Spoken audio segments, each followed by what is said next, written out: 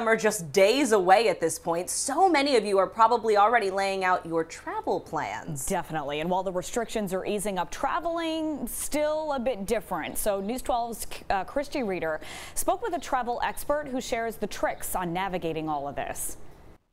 So many of us, including my daughter, are ready for the vacations. Being that we were locked in for over a year, has generated a pent up demand of everybody traveling everywhere and as much as possible. But the travel game has changed somewhat. There still is a level of confusion and gray area into where exactly can you go? So you have to do your homework. Yannis Moati is a travel expert and CEO of Hotels by Day, a company that rents out day stays at hotels. We've seen our regional um, supply being booked by the regional traffic. Possibly because people are planning vacations close to home. But let's say you want to go farther away. First thing is to get tested as close to a window as possible to your departure time. That's right. Some locations may require a COVID test, so check first.